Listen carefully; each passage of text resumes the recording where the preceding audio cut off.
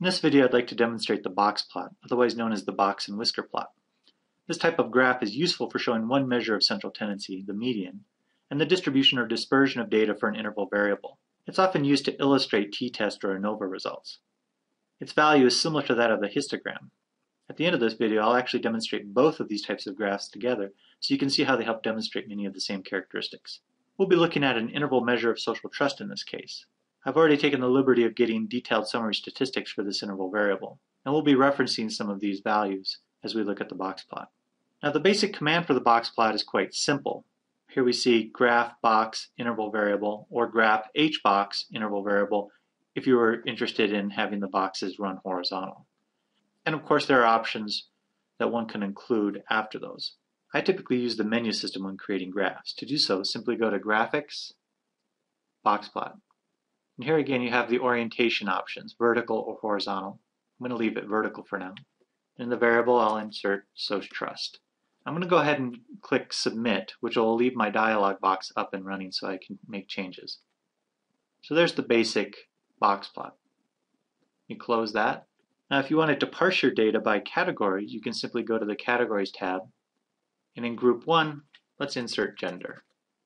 Here you can see Trust grouped by male and female respondents. We can further parse our data by inserting another grouping variable, ethrace. Here you see it's parsed by gender within each race ethnic group. Let's go ahead and turn those categories off. And let's create a horizontal box plot. So how does one interpret the box plot? The main ingredient of a box plot is the eponymous box, i.e. the box itself which indicates the lower and upper quartiles of the variable. In other words, the upper and lower boundaries of the box represent the 25th percentile and 75th percentile values.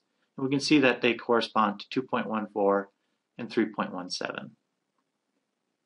The line inside the box represents the 50th percentile, otherwise known as the median, the value which splits our cases into two equal halves. Half of the cases fall above that value, half fall below we can see that that corresponds to the value of 2.69. Now another way of thinking about the lower and upper quartiles, or the 25th and 75th percentile values, is that they actually represent the medians of each half of the distribution. Finally, when looking at the box, we can think about dispersion. The wider the box, the more dispersion. The shorter the box, the less dispersion.